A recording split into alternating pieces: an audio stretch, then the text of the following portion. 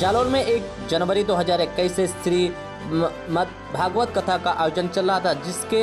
शुभ आरंभ professor doctor Shri Vijendra Nath प्रधानाचार्य medical college और जालौर के द्वारा दीप प्रज्वलित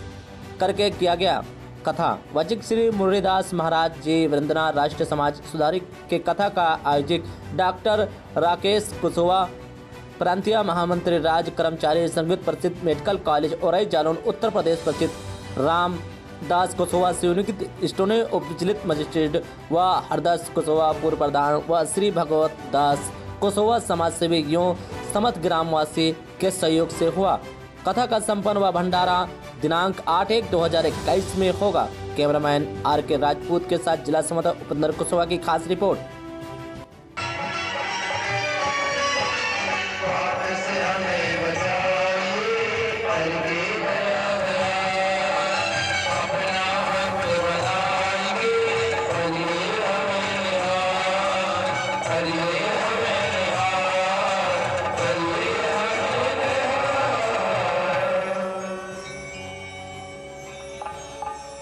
परम आदरणीय माता स्मरणीय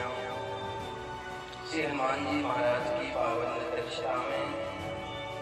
भूत पावन भगवान भोलेनाथ के पावन सानिध्य में श्री हरदोल जी महाराज की पावन गोद में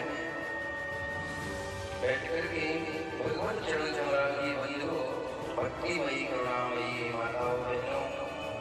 श्रीमद भागवत भागवती में अवगाहन करने से पूर्व आइए मनोवाणी को